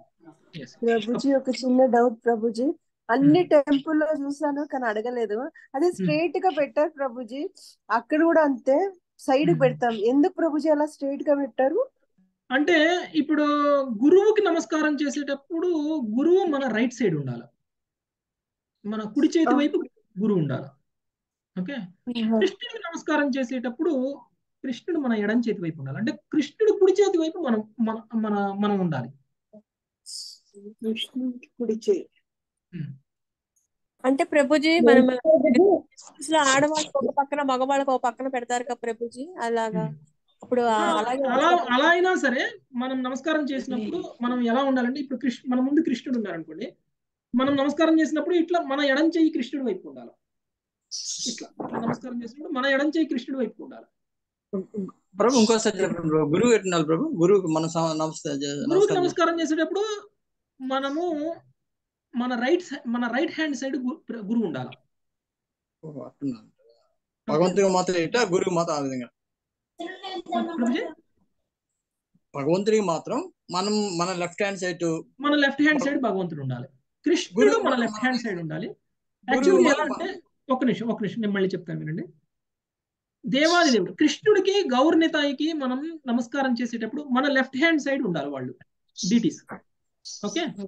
దేవీ దేవతలకు చేసేటప్పుడు దేవీ దేవతలకు చేసేటప్పుడు మాత్రం దేవీ దేవతలకు చేసేటప్పుడు మాత్రం మన రైట్ హ్యాండ్ సైడ్ ఉండాలి దేవీ దేవతలు.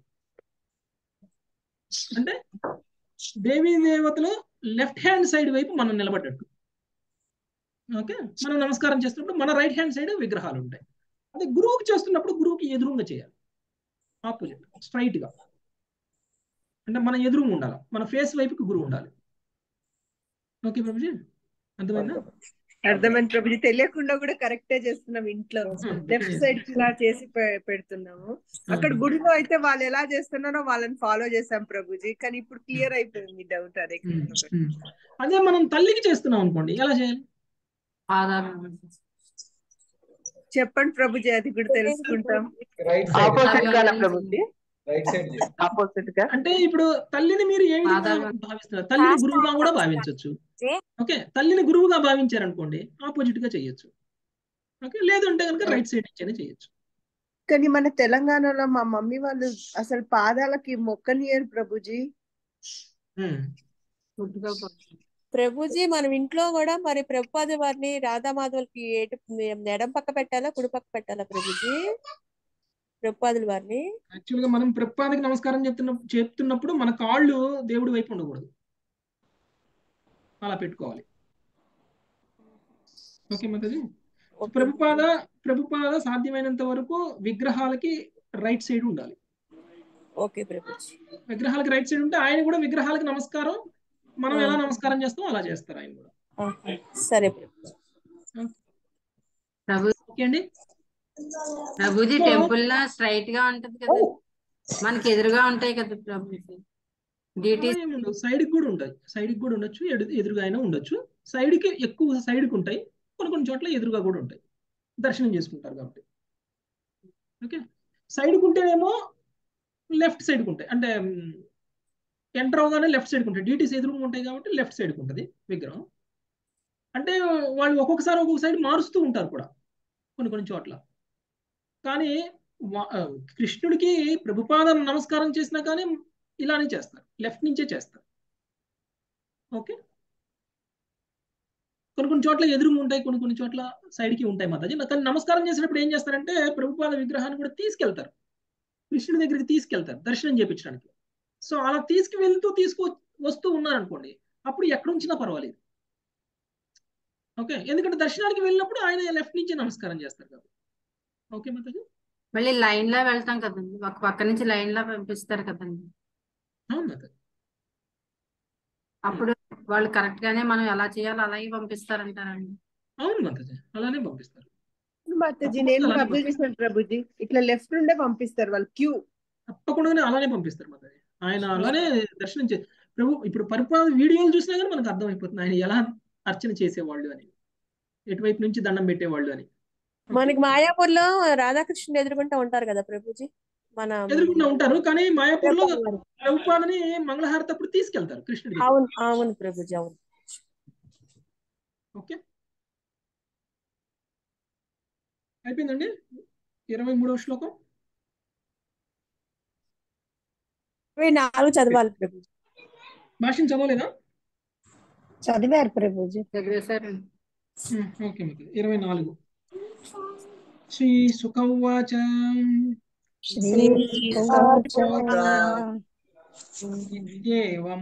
इत्येवमुत्तरामतः स वै ब्रह्मर्षिसूतः।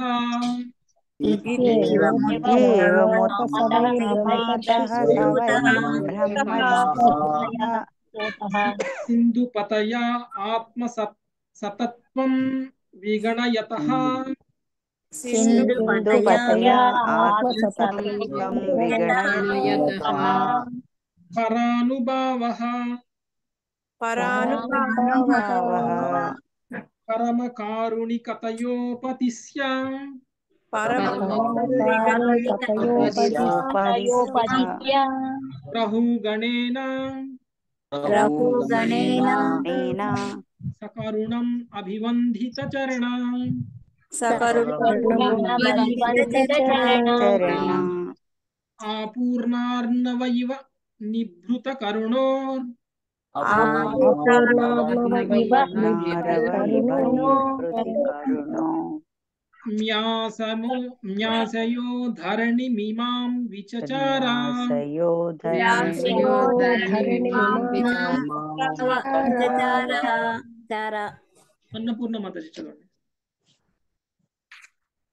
ఓకే ప్రభు. స్త్రీల సుఖగో సుఖదేవ గోస్వామి పలకసాగాను. రాజా ఉత్తరాతనయ పల్లకిని మోయించి రహుగణుడు అవమానించినందుకు మనస్సులో అసంతృప్తి తరంగములు చెలరేగినప్పటికీ జడభరతుడు దానిని నిర్లక్ష్యపరిచను. అతని హృదయం తిరిగి సముద్రము వల్లే ప్రశాంతంగా నయ్యను. రహుగణుడు అవమానించినప్పటికీ అతడు పరమహంసయే కదా? వైష్ణవుడైన కారణమున అతడు దయాహృదయుడై ఆ రాజునకు వివరించెను. ఆ రాజు దీనముగా క్షమాపణ వేడినందున అతడు తనకు జరిగిన అవమానమును మరచెను. పిమ్మట వెనుకటి వలనే అతడు ధరణి అంతటను తిరగసాగాను. ఓకే. ఎవరండి? ధరణి అంతా తిరగసాగింది? జడభరతుడు ప్రభు. జడభరతుడు. అంటే ఇప్పుడు భక్- భక్తుడు కాబట్టి మామూలుగా అయితే మామూలుగా అయితే ఎంత గొప్ప అపరాధం జరిగిందంటే ఆ అపరాధానికి మామూలుగా ఎవరు కూడా క్షమించరు. కదండి? ఆయనకేం అసంతృప్తిగానే ఉన్నది. ఈయన ఏం పని చేపిస్తున్నాడు నాతోటి? నేను నాతోటి ఈయన పల్లకిని మోపించేసుకున్నాడు అనేటువంటి అసంతృప్తి ఉంది. అందుకనే కదా ఆయన అన్నాడు. కానీ ఆ అసంతృప్తి తనకు జరిగినటువంటి అసౌకర్యం వల్ల రాలేదు. రహుగణుడు తనకున్నటువంటి ఆస్తిపాస్తుల్ని లేకపోతే ఐశ్వర్యాన్ని తనకున్నటువంటి పదవిని ఉపయోగించుకొని మిస్యూజ్ చేస్తున్నాడు. అందుకు వచ్చింది ఆయనకి అసంతృప్తి అయితే ఎప్పుడైతే ఆయన రహుగరుడు తనకున్నటువంటి అహంకారాన్ని పోగొట్టుకున్నారో ఆయన మనసులో ఉన్నటువంటి అసంతృప్తి కూడా పోయింది. అంటే ఎందువల్ల అయితే అసంతృప్తి వచ్చిందో అది పోగొట్టినప్పుడు ఆటోమేటిక్గా అసంతృప్తి కూడా పోతుంది. అంటే ఇప్పుడు రహుగరుడికి మిథ్యాహంకారం ఉంది. అందుకని రహుగణుడు విద్యాహంకారంతో ప్రవర్తించాడు. అందుకు అసంతృప్తి ఉంది. ఎందుకు అసంతృప్తి? రహుగణుడు సరిగా తనకున్నటువంటి ఐశ్వర్యాన్ని ఉపయోగించుకోలేదు అనేటువంటి అసంతృప్తి. ఎప్పుడైతే రహుగణుడు ఆ విషయాన్ని తెలుసుకుని కిందికి దిగి క్షమాపణ కోరుకొని ఆయన పశ్చాత్తాపాన్ని వ్యక్తం చేశాడో వెంటనే ఈయనకున్నటువంటి ఆ అసంతృప్తి పోయింది. అంటే ఇప్పుడు ఈయన గొప్ప భక్తుడు కాబట్టి గొప్ప భక్తుడు చాలా ఇలానే ఉంటారనమాట ఇలానే ఎవరినైనా సరే ఎంత పెద్ద తప్పు చేసినటువంటి వాళ్ళనైనా సరే క్షమించేస్తారు. ఎందుకంటే వాళ్ళు పశ్చాత్తాపడినప్పుడు. కాబట్టి అలాంటి నిజమైనటువంటి పశ్చాత్తాపం మనలో వచ్చి మనం నిజంగా ఎవరి ఏడైతే అపరాధం చేసామో వాళ్ళే మనల్ని క్షమించారు అనేటువంటి విధంగా మన మన యొక్క ప్రవర్తన. ప్రవీణ్ క్షమి ఇప్పుడు మనం వెళ్ళిపోయి మనం అనుకుంటాం నాకు మీరు క్షమాపణ చెప్పండి. ఇప్పుడు మీరు నేను వచ్చి ఇప్పుడు నేను మీ ఎడ నేను అపరాధం చేసేసాను. రకరకాలుగా ఉంటాయి. క్షమాపణ చెప్పేటువంటిది రకరకాలుగా ఉంటుంది. ఇందాక మనం చెప్పుకున్నాం ఒక రకం. ఎలా అంటే ఎవరి ఎడైతే మనం క్షమాపణ చేసామో వాళ్ళ దగ్గరికి వెళ్ళి మనం ఎదురుగా నిలబడి వాళ్ళకి క్షమాపణ చెప్తే మన యొక్క ఈగో సాటిస్ఫై కాదు. మనం మనం చాలా వాళ్ళ ఎడ వాళ్ళ ముందు చాలా చిన్న వాళ్ళం అయిపోతాం మనం. సో అందుకని అలా చెప్పం. దేవుడి ముందుకెళ్ళి దేవుడి దగ్గర క్షమాపణ చెప్తాం. అలా అని అపవిత్రులం కూడా కాదు. మనం అని మళ్ళా రాయి రాయి లాంటి హృదయం కలిగినటువంటి వాళ్ళం కూడా కాదు. అందుకని మనం ఏం చేస్తాం? మన తప్పు మనకు తెలుసు కాబట్టి కనీసంగా మనిషి ముందు చెప్పకపోయినా దేవుడి దగ్గరికి వెళ్ళి తమ క్షమాపణ కానీ ఇంకొంతమంది ఎలా ఉంటారు అని అంటే సర్లే ఏదో నామకే వాస్తే వెళ్ళి ఎదురుగా మనిషి ముందుకు వెళ్ళి క్షమాపణ క్షమించండి అని చెప్పేసి వెళ్ళిపోతారు. అంటే అవతల వాడు క్షమించాడా లేదా అనేటువంటి దాంతో సంబంధం లేదు. ఒక మాట అయితే అడిగేస్తాం. ఓకే? దానివల్ల కూడా ఏమి లాభం లేదు. ఒకవేళ వైష్ణవుడు ఎడగనక మనం అపరాధం చేస్తే ఆ వైష్ణవుడు క్షమించాడు అనేంత వరకు మనం ఆయనకి క్షమాపణ చెప్పాలి. సో ఇక్కడ రహుగణుడు క్షమాపణ చెప్పినప్పుడు సారీ రహుగరుడు క్షమాపణ చెప్పినప్పుడు జడభరతుడు కూడా పర్లేదులే. ఏం ప్రాబ్లం లేదులే. క్షమించాలి అని అనకపోయినా తను తన తన పని తాను చేసేసుకొని ఓకే ఓకే అని తన పని తాను చేసేసుకున్నాడు. క్షమించినట్లే. ప్రత్యేకించి నోటితోటే క్షమించాను అని చెప్పడం అవసరం లేదు. దాన్ని పట్టించుకోకుండా అంటే క్షమాపణ చెప్పడం అనేటువంటిది మనం జరిగిన తర్వాత ఆ మనిషి మనకి ఏదో ఒక రకంగా మనకున్నటువంటి ఎక్స్ప్రెషన్స్ తోటి కూడా ఆయన క్షమించాను అనేటువంటి విషయాన్ని తెలియచేయచ్చు. సో ఇక్కడ ఎప్పుడైతే రహుగరుడు పశ్చాత్తాపాన్ని వ్యక్తం చేశాడో జడభరతుడు తను ఇంకక్కడి నుంచి మళ్ళీ ఇంతకు ముందు ఏ విధంగా అయితే సంచారం చేస్తూ వెళ్ళిపోవాలనుకున్నారో అలా సంచారం చేస్తూ వెళ్ళిపోయాడు. అంటే దాని అర్థం రహుగరుని క్షమించేసినట్లు. సో దీనివల్ల రహుగరుడికి మంచి జరుగుతుంది. సో ఒక వైష్ణవుడు పశ్చాత్తాపడినటువంటి వ్యక్తిని ఇంకా శిక్షించాలి అని కోరుకోడు. అలానే నన్ను నన్ను ఏ వైష్ణవుడైనా శిక్షించడు కదా ఏ వైష్ణవుడైనా గొప్ప మనసు కలిగినటువంటి వాడు కదా ఏ వైష్ణవుడి దగ్గరికైనా సరే ఏదైనా సరే మనం చేసేసి వెళ్ళిపోయి క్షమించండి అని చెప్పగానే క్షమించేస్తారు కదా అని చెప్పేసి మనం ఏ తప్పులు పడితే ఆ తప్పులు కూడా చేయకూడదు. తప్పులు చేయడం పోయి క్షమాపణ కోరుకోవడం. తప్పులు చేయడం పోయి క్షమాపణ కోరుకోవడం. ఇది కూడా కరెక్ట్ కాదు. అంటే ఇది తెలిసి తెలిసి చేస్తున్నటువంటి అపరాధం అవుతాయి. అలా కూడా చేయకూడదు. ఇక్కడ మనకి జడభరతుడు రహుగరుని క్షమించేసినట్లు మనకి ఇక్కడ అర్థమవుతుంది. ఓకే? చదవండి చదవనా ప్రభుజీ? భాష్యముపై శ్రీల ప్రభుపాద్. సాధువుల లక్షణములను కపిల భగవానుడు శ్రీమద్ భాగవతము మూడు పాయింట్ ఇరవై ఐదు పాయింట్ ఇరవై ఒకటి నందు తితిక్షవ కారుణిక సహృద సర్వదేహినాం అని అభివర్ణించెను. సాధువకు భక్తుడు నిశ్చయముగా అత్యంత ఓర్పు కలవాడై ఉండును. అతడు సర్వజీవమిత్రుడు. ఈ ప్రపంచమున అతడు శత్రువులను తయారు చేసుకొనడు. విశుద్ధ భక్తులు సాధువుల ఈ సమస్త లక్షణములను కలిగి ఉందరు జడభరితుడంతుడే దీనికి చక్కని ఉపమానం.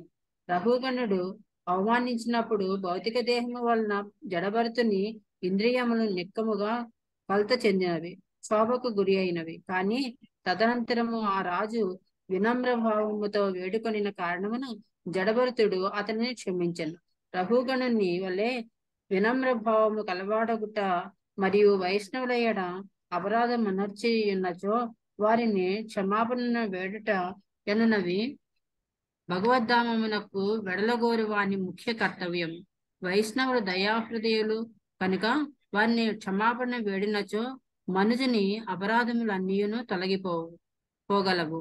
అట్లు కాని పనిచో అట్లు కావింపనిచో ఆ అపరాధ దోషములు ఇంకనూ మిగిలి ఉండి చేదు ఫలితములను లభించగలవు.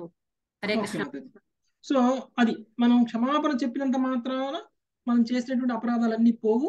మనం ఎవరికైతే అపరాధం చేసామో వాళ్ళు మనల్ని క్షమించాల? అప్పుడు మన అపరాధాలన్నీ పోతాయి. సో వాళ్ళు క్షమించేంత వరకు మనం అడుగుతూనే ఉండాలి? సో ఏదో పేరుకి నేను క్షమాపణ చెప్పేశాను అని అనుకొని నా పనులు నేను చేసేసుకుంటే నేను భక్తిలో ముందుకు వెళ్ళిపోతాను అనుకుంటే సాధ్యం కాదు. అలా అలా పేరుకు చెప్పే క్షమాపణలు వాళ్ళతోటి వాళ్ళు మన ఎడ ప్రసన్నులు అయ్యేంత వరకు మళ్ళీ మనం వాళ్ళకి క్షమాపణ చెప్పాలి. వాళ్ళు మనతో మళ్ళీ మంచిగా మాట్లాడాలి. వాళ్ళు మళ్ళీ మనకి ఇంతకు ముందు ఏ విధంగా అయితే వాళ్ళు మనకి సర్వీస్ ఇస్తున్నారో ఆ విధంగా మళ్ళీ వాళ్ళు మనకి సర్వీస్ ఇవ్వాలి. ఏ విధంగా అయితే ఇంతకు ముందు మనం ఎప్పుడు వెళ్ళినా కానీ ఎలా నవ్వుతూ ఒక వైష్ణవుడి దగ్గరికి మనం వెళ్ళినప్పుడు వైష్ణవుడు నవ్వుతూ మాట్లాడాలి. ఆ విధంగా మన యొక్క ప్రవర్తన ఉండాలి. అలా ఉండేంత వరకు ఆ వైష్ణవుడు కనుక ఒకవేళ మనల్ని చూసి కోపంగా వెళ్ళిపోయాడు అనుకోండి మనల్ని ఏం అనకపోయినా కానీ లేదంటే కనీసంగా మనల్ని చూసి కూడా విష్ చేయకుండానే వెళ్ళిపోయాడు అనుకోండి కనీసంగా హరే కృష్ణ అని కూడా అనకుండా వెళ్ళిపోయాడు అనుకోండి దాని అర్థం ఆయన మన చాలా కోపంగా ఉన్నట్లు. సో ఆయన మళ్ళీ మనల్ని చూసి నవ్వుతూ హరే కృష్ణ అని చెప్పేంత వరకు మనం ఆయనకి ప్రసన్నం చేసుకోవడానికి ఏదైనా సరి చేయాలి. సో ఆ విధంగా ఇప్పుడు జడభరతుడు ఈయన్ని క్షమించేశారు అనేటువంటి విషయం మనకి ఇక్కడ అర్థమవుతుంది. సో ఇరవై ఐదవ శ్లోకం. సౌవీరపతిరపి సుజిన సమవగత పరమాత్మ సతత్వం. సౌవీరపతిరపి సుజన సమవగత ఆత్మన్య విద్యాధ్యారోపితాం చ దేహాత్మమతిం విససర్జ ఆత్మన్యవిద్యారూపితాం చ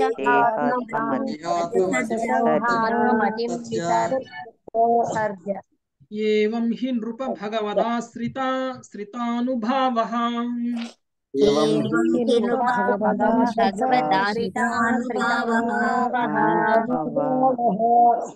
ఉమాపతి ప్రభుజీ చదువు ఎస్ ప్రభుజీ హరే కృష్ణ ప్రభుజీ మహాభక్తుడకు జడభరతు నుండి ఉపదేశము పొందిన పిదప సౌర సౌవీర దేశాధిపతియకు రహుగణుడు ఆత్మతత్వమును పూర్తిగా నెరుగగలిగను. ఆ విధముగా అతడు దేహాత్మ భావనను విడిచివేసను రాజ రాజా భగవద్దా భగవద్దా సదా భగవద్ద సదాసుని ఆశ్రయించువాడు. దేహాత్మ బుద్ధిని సులభముగా విడిచివేయగలిగినందున నిక్కముగా మహా మహా మహిమాన్వితుడగును చదవండి ప్రభుజీ భాష దే ప్రపాస్ ప్రపాతికి జై. చైతన్య చరితామృతం మధ్యలీల ఇరవై రెండు పాయింట్ యాభై నాలుగు నందు ఇట్లు తెలుపబడినది. సాధు సంఘ సాధు సంఘ సర్వశాస్త్రీయకయ నవమాత్ర సాధు సంఘే సర్వసిద్ధి హయ. మనుజుడు విశుద్ధ భక్తిని ఆశ్రయించినతో ఆ సాంగత్యము క్షణకాలమైనప్పటికీ పూర్ణతమును పడయ గలుడ బడయగలుడనుట యథార్థము. సాధు మహాత్ముడు భగవానుని విశుద్ధ భక్తుడై ఉండును. గురుదేవుని తొలి ఉపదేశముతోనే నా ఎందు కృష్ణ భక్తి భావన పెళ్ళిపికి ఈ రోజు నేను ఆ కృష్ణ భక్తి పథమున నిలిచి తత్వము నెరుగుగలుగుట స్వానుభవమే తత్ఫలితముగా అనేక సంఖ్యలో భక్తులు మా కృష్ణ చైతన్యోద్యమమున పాల్గొంటున్నారు. ప్రపంచమంతయు దేహాత్మ భావన ఎందే కొనసాగుతున్నది. కనుక జనులను ఆ భావన నుండి ఉద్ధరించి పూర్తిగా కృష్ణ భక్తిలో నెలకొల్పుటకు ప్రపంచమంతటను భక్తులు నెలకొనవలసి ఉన్నది. హరే కృష్ణ. ఓకే హరే కృష్ణ. సాధువుల యొక్క సాంగత్యం లవమాత్రం. అంటే క్షణంలో ఎన్నో వంతండి లవం అంటే ఇంతకుముందు మనకు వచ్చింది. ఏ స్కందంలో రెండో స్కందంలోనో మూడో స్కందంలోనో వచ్చింది. ఎవరు చెప్తారు అన్నమాట? కపిల భగవానుడు చెప్తారు. కదండి? సో లవం అంటే ఏంటి లవం అంటే? ఒక్క క్షణం అని చెప్పారు లవం అంటే క్షణం కాదు. క్షణంలో ఎన్నో వంతు ఉంటుంది. పదివేల వంత ప్రభుజీ? ఎన్నో వంతు. గుర్తులేదు నాకు. లవ మాత్రం అంటే క్షణంలో కూడా తక్కువ అన్నమాట. క్షణం కంటే కూడా క్షణంలో కూడా ఎన్నో వంతు. అంటే ఒక క్షణం కూడా అవసరం లేదు. క్షణం కంటే తక్కువ సమయం కూడా సాధువుల యొక్క సాంగత్యంలోకి వస్తే మన జీవితం ఉద్ధరింపబడుతుంది. అందుకనే శుద్ధ భక్తులు ఎక్కడికైనా వస్తే మన పనులన్నీ వదులుకుని వాళ్ళ దగ్గరికి వెళ్ళాలి మనం. వాళ్ళని కలవాలి. వాళ్ళని కలిసి రావాలి. అలా కలవడం వల్ల మనకి మంచి. వాళ్ళకి కాదు మనకి మంచి. ఇప్పుడు చూడండి ప్రభుపాద ఒక ఉదాహరణ. ప్రభుపాద మామూలుగా సాధువుల మీద మంచి ఒపీనియన్ లేదు. మంచి అభిప్రాయం లేదు ప్రభుపాదులకి ఎందుకంటే అంతకుముందు ఎంతో మంది సాధువులను చూశారు ఆయన. అందరూ కూడా దొంగ బాబాలు దొంగ సాధువులు. ఏదో ఒక రకంగా పేరు ప్రతిష్టలను పొందడమో లేకపోతే సాధువుల వేషంలో ఉండి భౌతికమైనటువంటి లాభాన్ని పొందేటువంటి వాళ్ళనే ఎక్కువగా చూశారు ఆయన. అందుకనే ఏ సాధువుని నమ్మేవాళ్ళు కాదు. ఒకసారి భక్తి సిద్ధాంత సరస్వతి ఠాకూర్లు ఒక చోట ఎక్కడో ప్రవచనం ఇస్తున్నారు. ప్రవచనం ఇస్తున్నప్పుడు అప్పుడు ప్రభుపాదకి స్వాతంత్ర సమర యోధుల్లాగా ఆయన కూడా గాంధీ మహాత్ముడి యొక్క ఉద్యమంలో పాలు పంచుకోవాలి అని అనుకున్నారు. గాంధీ మహాత్ముడికి ఆయన కూడా ఆ ఆయన ఉద్యమంలో ఈయన కూడా భాగం కావాలి అని అనుకున్నారు. ఆయన ఆయన మీద బాగా ఇన్స్పైర్ అయిపోయారు. మహాత్మా గాంధీకి ఈయన కూడా అనుచరుడుగా ఉండాలి అని అనుకున్నారు. అక్కడికి వెళ్ళారు. సో వెళ్ళినప్పుడు ఆయన ఒక రూమ్లో ఉంటారు. ఆ రూమ్లో ఆయనతో పాటు ఒక ఫ్రెండ్ కూడా ఉన్నాడు. సో ఆ ఫ్రెండ్ ఉన్నప్పుడు ఆ ఫ్రెండ్ ఏమంటాడంటే నేను ఇక్కడ భక్తి సిద్ధాంత సరస్వతి ఠాకూర్లు వారు ఒక ప్రవచనాన్ని చెప్తున్నారు. ఆ ప్రవచనం దగ్గరికి నేను వెళ్తున్నాను. నువ్వు కూడా వస్తావా నా దగ్గరికి అంటాడు. ఆ రోజు తర్వాత ఆ రోజు మహాత్మా గాంధీ దగ్గరికి వెళ్ళాలి ఈయన ప్రభుపాదుల వారు. అయితే ఈయన ఏమంటారు అంటే నేను రానులే నాకు అంత ఇంట్రెస్ట్ లేదు నేను అలాంటి సాధువులను నేను నమ్మను. చాలా మంది సాధువులు నేను చూశాను. వాళ్ళు ఎవరు కూడా సరిగ్గా లేరు. వీళ్ళు చెప్పేటువంటి మాటలన్నీ కూడా నిజంగా ఉంటాయి. నిజం అనేటువంటి నేను నమ్మలేను అని చెప్పేసి భక్తి సిద్ధాంత సరస్వతి నాకు ప్రవచనానికి నేను రానంటారు ప్రభుపాదుల వారు. అయితే ఆయన అంటాడు నీకు ఇష్టం ఉన్నా ఇష్టం లేకపోయినా నా కోసం నాతో పాటు అసోసియేట్ అవడం కోసం నా కోసం రా అని చెప్పేసి ఆయన తీసుకెళ్తాడు.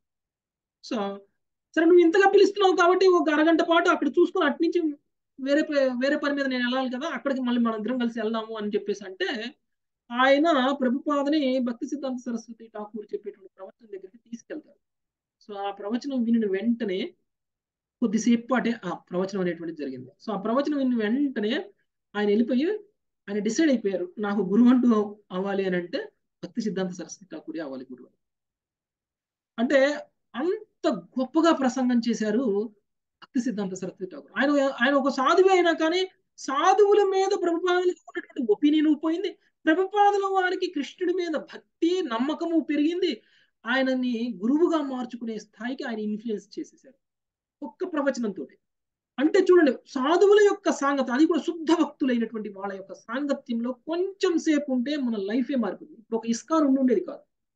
ఆ ఒక్క అరగంట పాటు గనక ప్రభుపాదల వారు భక్తి సిద్ధాంత సరస్వతి ఠాకూర్ ప్రవచనానికి కనుక వెళ్ళకు వెళ్ళి ఉండకపోతే ఇప్పుడు ఇస్కాన్ ఉండేది కాదు. మనం అందరం కూర్చొని ఇలా భాగవతాన్ని చదివేవాళ్ళం కాదు. అది సాధువుల యొక్క సాంగత్యం వలన ఎంతమంది జీవితాలు ఏ విధంగా మారిపోతాయి అనడానికి ఇది ఒక ఉదాహరణ సో అలానే ఇక్కడ మనకి చైతన్య మహాప్రభు కూడా అదే చెప్పారు లవమాత్ర సాధు సంగే సర్వసిద్ధి హయి అనేటువంటి సేపు సాధువుల యొక్క సాంగత్యంలో ఉంటే అన్ని మనం పొందగలము అనేటువంటి విషయాన్ని తెలియజేస్తున్నారు ఆ విధంగానే జడభరతుడి యొక్క సాంగత్యంలో ఉన్నటువంటి రహోగణుడికి అన్ని పొందేశారు. ఆయన భగవద్ధామానికి వెళ్ళడానికి దేహాత్మ భావాన్ని వదిలేశారు. ఆయన బుద్ధిని ఉపయోగించి ఆయన కూడా మహిమాన్వితుడు అవగలిగారు అనేటువంటి విషయం చెప్తుంది. ఓకే నెక్స్ట్ రాజోవాచ. యో హవా ఇహ బహువిధా.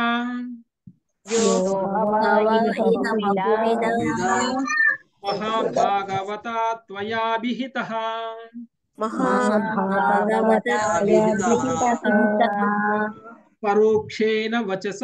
జీవలోక భవాద్వాస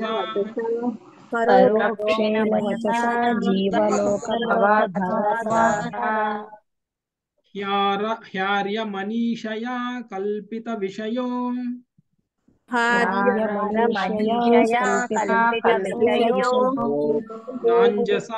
నాంజసాప్యుత్పన్న లోక సమధిగమ అత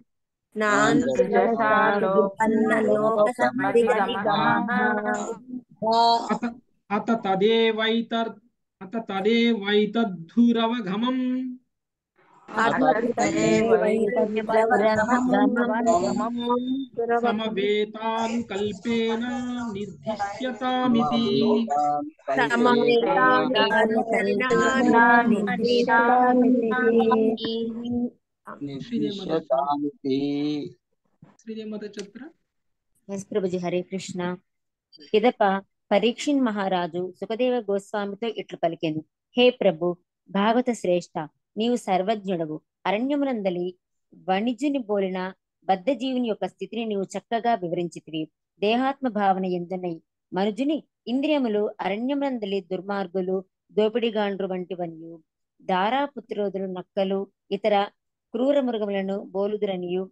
ఈ ఉపదేశముల వలన బుద్ధిమంతులు తెలుసుకొనగలరు. అయినను ఈ దృష్టాంతం యొక్క సరైన అర్థమును రాబట్టుట అతి కష్టము. కనుక అల్ అల్పజ్ఞులకు ఈ కథాసారము ఎరుగుట సులభము కాదు. కనుక దీని ప్రత్యక్షార్థమును తెలియజేయడని ప్రార్థించుచున్నాను. భాష్యము. దృష్టాంతముగా వర్ణింపబడిన కథలు సంఘటనలు శ్రీమద్ భాగవతం పెక్కు కలవు అట్టి అలంకారిక వర్ణనలను అల్పజ్ఞులు అవగతము చేసుకొనలేక చేసుకొనలేకపోవచ్చును. కనుక వాని ప్రత్యక్ష వివరణకై ప్రామాణికుడగు గురువును ఆశ్రయించుట జిజ్ఞాసుని వ్యక్తి యొక్క కర్తవ్యము. శ్రీమద్ భాగవతం నందలి శ్రీమద్ భాగవతం నందలి రహుగణ జడభరతుల మరికొన్ని చర్చలు అను పంచమ స్కందంలోని పదమూడవ అధ్యాయమునకు భక్తి వేదాంత భాష్యము సమాప్తము. హరే కృష్ణ. సో పరీక్షణ్ మహారాజు కూడా చాలా గొప్ప జ్ఞానవంతుడు. ఓకే? ఆయనకి ఎవరో రాబంధువులని లేకపోతే ఆ నక్కలని లేకపోతే క్రూర మృగాలని లేకపోతే ఆ, ఇంకా ఏమేమి చెప్పారండి? ఆ, పక్ష చీమలని లేకపోతే దోమలని ఇలాంటివన్నీ కుట్టి నిన్ను ఇబ్బంది పెట్టాయనేటువంటి స్టోరీని చెప్పారు కదా? ఆ స్టోరీలో ఏంటి ఇవన్నీ? ఎవరు వీళ్ళు నక్కలు ఎవరు ఎవరు దోమలు ఎవరు ఎవరు కుటుంబ సభ్యులు? అంటే ఇప్పుడు దాన్ని రిలేట్ చేసుకున్నారు ఆల్రెడీ. అంటే పరీక్ష మహారాజ్కి అర్థమైంది. అంటే స్టోరీని స్టోరీలా తీసుకోలేదు. స్టోరీలో ఉన్నటువంటి ఎసెన్స్ ఏదైతే ఉందో భావం ఏదైతే ఉందో ఆ భావాన్ని ఆయన గ్రహించారు. దానిలో ఉన్నటువంటి తత్వాన్ని కూడా గ్రహించారు ఆయన. కానీ నువ్వు కథను చెప్పేసి వెళ్ళిపోతే సామాన్యమైనటువంటి మానవులు జ్ఞానం ఇంతగా లేనటువంటి వ్యక్తులకి ఇది ఒక కథలానే తీసుకుంటారు తప్ప దానిలో ఉన్నటువంటి తత్వాన్ని అర్థం చేసుకుంటారు కాబట్టి దయచేసి ఇందులో ఉన్నటువంటి తత్వం మొత్తాన్ని కూడా వివరించండి. అంటే ఇప్పుడు దాకా ఆయన తత్వం ఏం చెప్పలేదు. కథే చెప్పాడు. ఓకే? ఎవరు చెప్పాడు? జడభరతుడు చెప్పాడు. మరి జడభరతుడు చెప్పినటువంటి కథలో ఉన్నటువంటి నిగూఢమైనటువంటి అర్థం ఏదైతే ఉందో ఆ అర్థము చెప్పలేదు. అర్థం చేసుకోవాల్సినటువంటి స్థితి అర్థం చేసుకోవాల్సినటువంటి స్తోమత మనకు ఉండాలి. అంటే ఇప్పుడు ఇప్పుడు మనం ఒక కాలేజీలోకి వెళ్ళామనుకోండి. టీచరు ఒక కాంప్లికేటెడ్ సమ్ము బోర్డు మీద చెప్తారు. చెప్పినప్పుడు అందరికీ అర్థమవుతుందా? అర్థం కాదు. అందులో కొంతమంది మెరిట్ స్టూడెంట్స్కి అర్థమైంది ఫస్ట్ బెంచ్ స్టూడెంట్స్కి అర్థమైంది వెనకాల బెంచ్ వాళ్ళకి చెప్పింది మ్యాథ్సా సోషలా సైన్స్ అనేది కూడా అర్థం కాదు. అంటే అన్నిట్లో ఒకలానే ఉంటాయి. సో అందుకనే అందరికీ అర్థం అవ్వాలి అనేటువంటిది ఏమి లేదు. కాబట్టి జ్ఞానం ఉన్నటువంటి వాడికి అర్థమైతే జ్ఞానం లేనటువంటి వాడికి అర్థం కాదు. కాబట్టి జ్ఞానం లేనటువంటి వాడు కూడా అర్థం చేసుకునేలాగా నాకు చెప్పి. ఇప్పుడు దానివల్ల జ్ఞానం లేనటువంటి వాడు కూడా ఈ కథ వల్ల లాభాన్ని పొందుతారు అనేటువంటి విషయాన్ని ఇక్కడ పరీక్ష మహారాజు సుఖదేవ గోస్వామిని అడగడం అనేటువంటిది జరుగుతుంది. అంటే మనము గురువుని ఆశ్రయించి ఇలాంటి శాస్త్రంలో చెప్పబడినటువంటి క్లిష్టమైనటువంటి ఏవైతే ఉంటాయో సారాంశాలు వాటి గురించి మనం ఎంక్వైరీ చేసి దాని యొక్క నిగూఢమైనటువంటి అర్థాలని గురువు ద్వారా మనం తెలుసుకోవాలి. తెలుసుకున్నప్పుడు మాత్రమే దానికి సంబంధించినటువంటి పూర్తి జ్ఞానం అనేటువంటిది మనకు వస్తుంది లేదు అని అంటే మనం చదువుకుంటూ అందుకని మనం భాష్యం చదవకుండా శ్లోకాలు మాత్రమే చదువుకుంటూ వెళ్తే ఏం అర్థం కాదు. సో భాష్యం చదివితే గురువులు అనమాట గురువులు రాసినటువంటి భాష్యం ఇది. సో పైన చెప్పింది జడవరుతులు చెప్పింది. కింద రాసింది గురువు మాట్లాడింది. కాబట్టి గురువు ద్వారా మనం తెలుసుకున్నటువంటి జ్ఞానం వల్ల జడవరుతులు చెప్పినటువంటి మాటల యొక్క నిగూఢమైనటువంటి అర్థాలను మనకి ఎక్స్ప్లెయిన్ చేస్తారు గురువు సో ఇక్కడ పరీక్ష మహారాజు కూడా ఆయనకి గురువు అయినటువంటి సుఖదేవ గోస్వామిని ఇంకా వివరణగా అసలు దాని యొక్క మీనింగ్ ఏంటి? ఇప్పుడు మీరు చెప్పినటువంటి సారాంశం ఏమిటి? దానివల్ల తెలుసుకోవాల్సినటువంటి నీతి ఏమిటి అనేటువంటి విషయాన్ని మనకి చెప్పమని అడుగుతున్నారు రాజు. ఎవరండి రాజు? పరీక్షన్ మహారాజు. సుఖదేవ గోస్వామిని అడుగుతున్నారు. సో ఈ అధ్యాయం ఇంతటితో ముగుస్తుంది. పద్నాలుగవ అధ్యాయం రేపటి నుంచి స్టార్ట్ చేద్దాము. భోగమహారణ్యమైనటువంటి భౌతిక జగత్తు. అంటే ఇంతకు ముందు చెప్పినటువంటి స్టోరీ ఏదైతే ఉందో ఆ స్టోరీకి వివరణ. తత్వంతో అది మనకి ఈ అధ్యాయంలో ఉంటుందండి. శ్రీమద్ భాగవతం కి జై. శ్రీల ప్రభుపాద్కి జై. జై. ఈరోజు అబ్దాం మాతాజీ. రమేష్ మాతాజీ ఒక టూ మినిట్స్ త్రీ మినిట్స్లో సమరైజ్ చేస్తారా? ఎస్ ప్రభుజీ ప్రభుజీ మనము రాహుబలుడు మాట్లాడి మొత్తం రాహుబలు గురించి తెలుసుకున్నాము. అందులో ముఖ్యంగా మానవ జన్మ చాలా చాలా ఇంపార్టెంట్ అని. ఎందుకంటే మానవ జన్మలోనే ముక్తిని సాధించడానికి చాలా ఈజీ అవుతుందని తెలుసుకున్నాము. అంటే దేవత లోకానికి దేవతల లోకంలో కూడా చేయొచ్చు కానీ అది చాలా కష్టతరము.